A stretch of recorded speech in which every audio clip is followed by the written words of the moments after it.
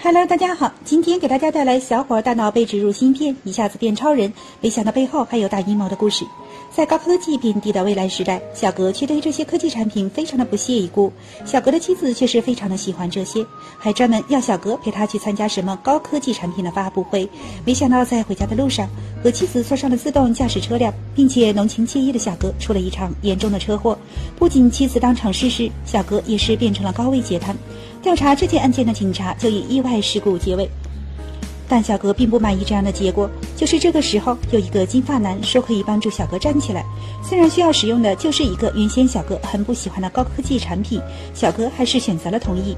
随后就被植入了名为智脑的人工智能，而在智脑的帮助下面，小哥的身体直接恢复到了巅峰状态，并且进行了进一步的开发。靠着智脑这个逆天神器，小格找到了所谓的真凶，并且直接想要单身匹马的就找人报仇。果然是身怀神器，一点都不带虚的。以为自己主角光环加身的小格，很快就找到了人。但是这件事明显不简单啊！这个凶手还是个练家子。小格对他出手，连三招都没到，就被凶手按在了地上摩擦，和死真的差得不远了。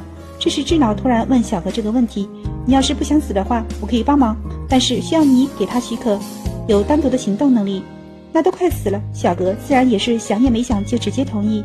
之后真的是外挂到账一般，一下子就把对方按在地上摩擦了。尝到了好处的小格也是越来越依赖智脑，但是小格也很快发现智脑对于自己的控制程度也是越来越高了。他找到了制作芯片的金发男，却没想到金发男都被自己利用了，包括之前的一系列的故事。虽然小格清醒了过来，但是已经完全掌控不来属于自己的身体了。眼睁睁的就看着智脑关闭了自己的后台，成为一个真正的人。本期就到这里，喜欢我就点赞、关注、分享吧。